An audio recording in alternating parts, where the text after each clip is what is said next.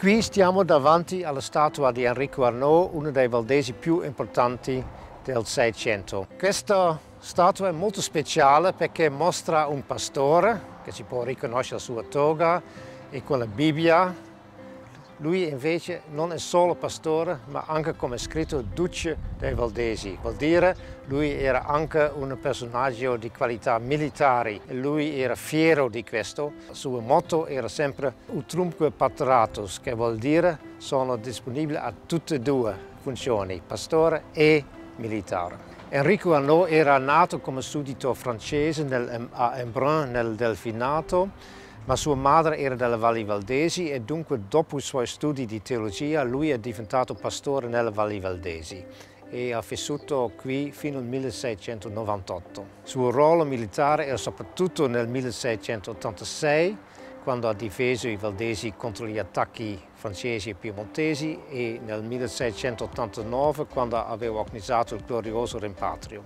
Nel 1698 Enrico Arnaud ha dovuto lasciare le valli valdesi insieme a 3.000 altri valdesi.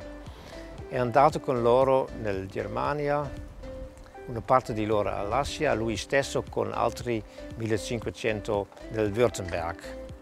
Nel 1702 ha costruito una casa a Schöneberg nel Württemberg dove è morto nel 1721.